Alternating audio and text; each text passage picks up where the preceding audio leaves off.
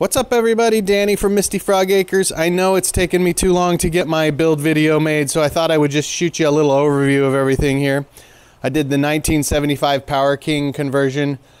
Um, I kind of started with the idea back in October, and then I bring it to fruition in February. So it was kind of my winter project. Um, it started off as an idea to make a modular battery system that would drop in between all three of my tractors, which it still can do. But uh, taking it in and out of the tractor is one of those things that you would rather not do, so you don't want to do it. And I haven't needed to yet. So, anyway, but I can. So, that's pretty cool. Um, as you can see, I got some lights on it, um, just standard headlights. Um, I also have a rear light in the back here, a rear work light here, and then also an 8000 watt inverter. That'll power the entire barn, including heat lamps, scalder, plucker, anything I need to do down in the barn. So this is basically a rolling generator. It could actually power the whole farm if I had a uh, switch to switch over uh, to it if I wanted to, which I might install one of these days. It wouldn't be for very long, but I could definitely do it. So what we got inside of here is the modular battery. That's 23 cells that make a 72 battery, 72 volt battery. Um, on top here we have the BMS, the main fuse, and then a fuse box, and that controls the rear lights, the driving lights, and the instruments um, also, a few other spots. I had a little inverter in there, and then I decided it wasn't powerful enough, so I went with the big boy, which is mounted back here underneath the seat. Um, this project has a pretty steep learning curve.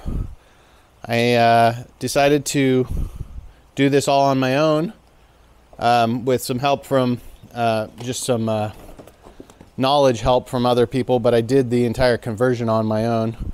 Got this vinyl rain and dust cover that goes over the top of it um, to keep out any extra rain, dust, etc. And then back inside of here uh, is the Alltrax controller, all the switching, all the electronics, all tucked in there. If I were to do it again, I probably wouldn't make it all super tight like that. And I'd probably move the batteries, um, spread them out a little bit more across the tractor, but I wanted it to be modular and uh, that's why I did it this way. Over here on this side, I have the 600 watt DC to DC converter. Um, it can do 50 amp max, 12 volt output. So um, it's great for just standard electronics in the vehicle. Then down over here, we have the original um, hydraulic pump, which is spun off of the clutch flywheel. Um, and then back here is the controls for that. I replaced all the hoses. I redid all of the valves um, just to make sure that this baby was up and running for the season.